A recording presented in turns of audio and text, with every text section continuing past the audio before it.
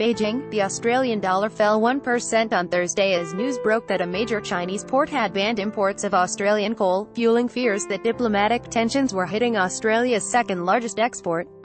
Trade Minister Simon Birmingham told Senate estimates on Thursday night.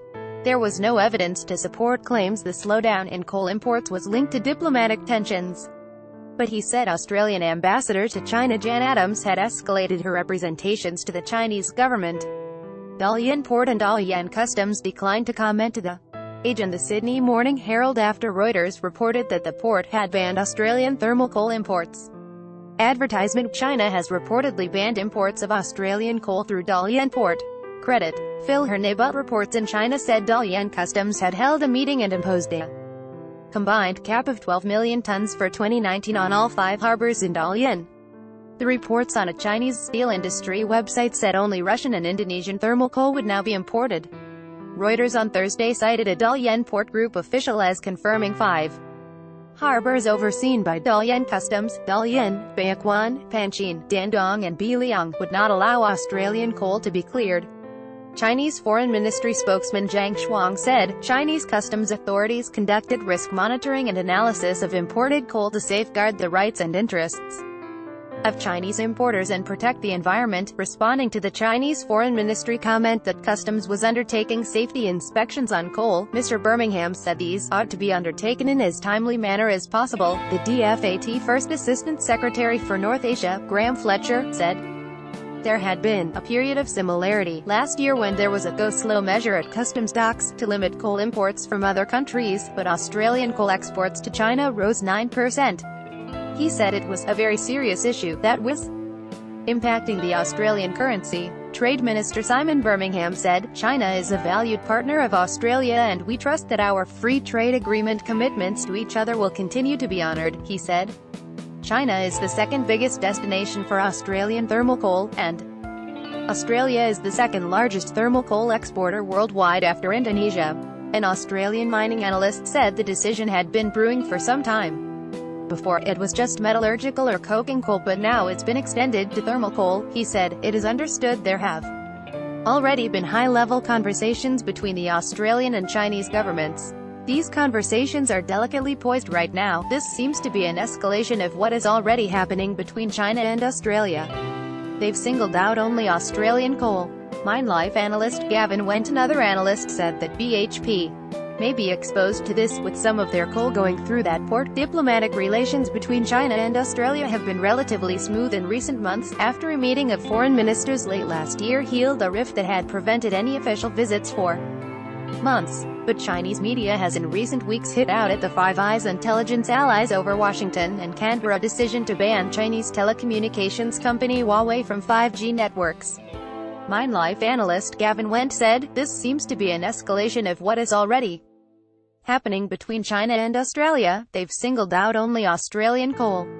One has to interpret it as having to do with the icy political relationship between Australia and China. Trade Minister Simon Birmingham is seeking urgent advice on the reported ban.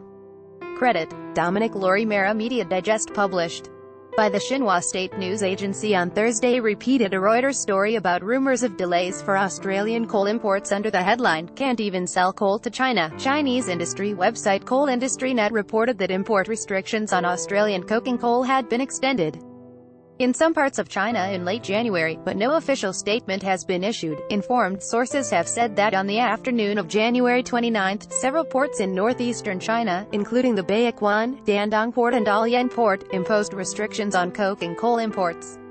Authorities conducted risk monitoring of imported coal to safeguard the rights of Chinese importers and protect the environment. Chinese Foreign Ministry spokesman Geng Shuang, three Chinese steel mills have confirmed that they have received verbal notices from customs at northeast ports regarding the import restrictions. On coking coal, the Chinese website said. A Chinese trader said it would definitely affect the buying sentiment of high-ash thermal coal from Newcastle Port. The Department of Science and Industry had forecast in December that China would have declining demand for thermal coal in 2019. But that Australian export earnings would continue to soar on rising prices, from $23 billion to $26 billion. One Australian coal miner said while they are being kept in the dark by the port, this situation frequently occurs. Dalian isn't talking to Australian producers about this.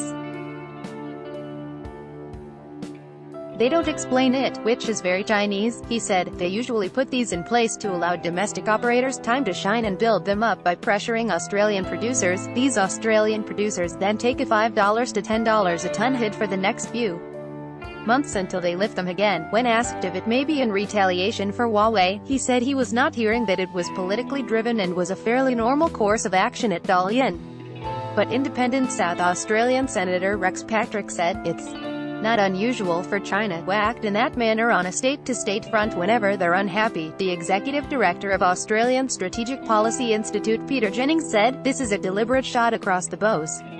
It's a pattern we've seen China apply to a number of countries over the years, it's designed to keep Australia on edge about our decision concerning Chinese investment or its inclusion in our 5G network. BHP chief executive Andrew Mackenzie on Tuesday acknowledged that delays for coal importers unloading in China had more than doubled from 22 45 days, but he said, all suppliers are facing that. He said the cause was China moderating imports versus domestic coal production. I don't believe for one moment this is linked to some of the higher level issues of relationships between China and the rest of the world, and including with us, there had been reports earlier this month of queues of ships off numerous Chinese ports facing delays to unload coal as China sought to boost domestic coal prices.